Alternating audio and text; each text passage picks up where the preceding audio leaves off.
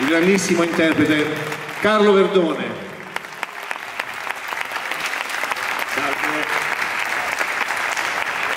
Insieme a Silvia Nicarico.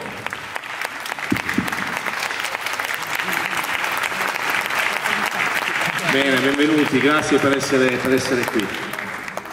Allora, innanzitutto, Luca, com'è nata l'idea di, di questo film?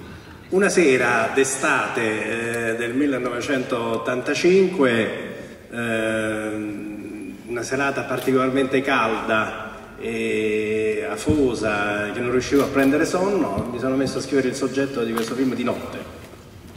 C'avevi già un'idea però. C'avevo già un'idea, sì, sì, sì, c'avevo già un'idea e così eh, inavvertitamente, cioè mh, senza neanche rendermene conto, lo presentai a Cecchi Gori e, Cecchi Gori mi disse ma è belloccio, eh, se, lo fa, se lo fa Carlo te lo può fare.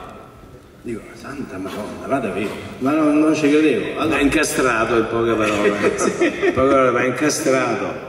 No, ho detto qua, qua ci vuole un partner, visto che è una commedia veramente surreale, è una farsa fatta bene, surreale, tipica di quegli anni là. Che si può... E allora il, il personaggio ideale secondo me è Renato Pozzetto, che ha una comicità effettivamente molto surreale. E, e poi abbiamo trovato anche Silvia Nichiarico, poi abbiamo Tiziana Pini, Tiziana Pini che non è venuta a e risalutare. poi tanti ciccioni che purtroppo mi sa che non ne, non ne vive ne- morti. sono morti tutti, non No, ne no, vive neanche uno. C'era, Erano eh, quattro. il, più magro, il più magro di tutti era la sorella, pensate gli altri che erano, sono morti tutti. Tutti, Tutti, ma tutti, eh? Tutti, tutti di, cuore, perché? Perché erano troppo grossi. Luca, com'è stato? Così, è così.